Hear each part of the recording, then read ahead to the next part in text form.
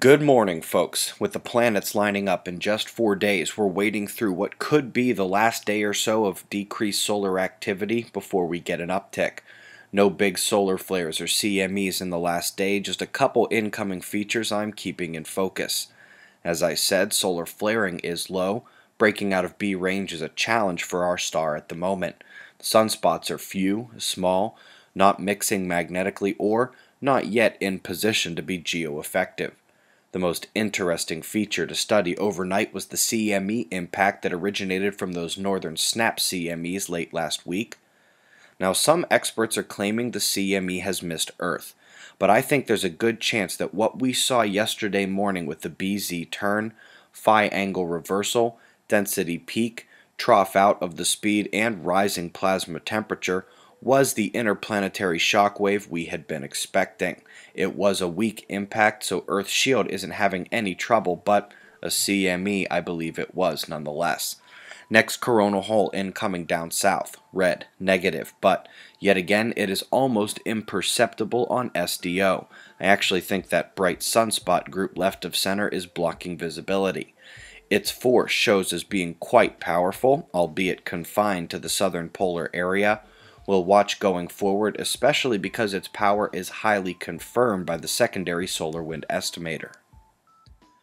Top quakes of interest the last day were an uptick hitting opposite sides of the Indian Ocean fault zone, with a volcano beginning to erupt right in the middle of them, also, if you missed it last night, we had an earth spot quake where the super typhoon got its power. It was barely significant before crossing over Guam and strengthening like crazy. Well, that exact location took a solid tremor yesterday afternoon. As it is, the typhoon is still slated to miss Japan landfall. Top story today is about how the Antarctic sea ice is growing so much that they're going to have to start moving their bases down there. If you're confused because you only hear about how their math says the sheet should be disappearing soon, I prefer observations to computer models, and the actual measurements we took down there show it's way thicker than believed. FYI, while the Arctic up north is still well below the average, Antarctic ice is still breaking records every day for highest ice extent in recorded history. Looks like a tropical storm in the north central states, doesn't it? This system is not going to drive as large a watch area this evening, but down in Texas, and then a bit up and down along the convergence line, we will have those storms. My bet is the worst weather hits the south. Eye your forecasts around lunchtime.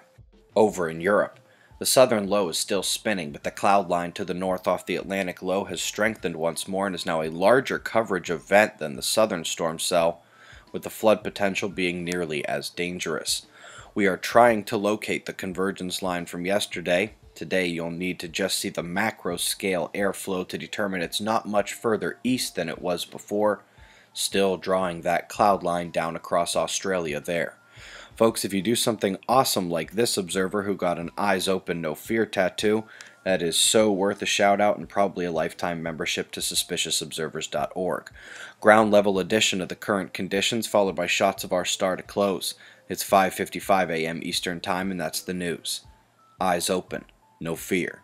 Be safe everyone.